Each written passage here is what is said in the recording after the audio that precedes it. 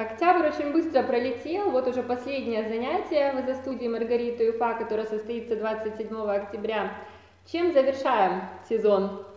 Ну, сезон завершится рисунком, посвященным такому южному интересному животному, как кенгуру.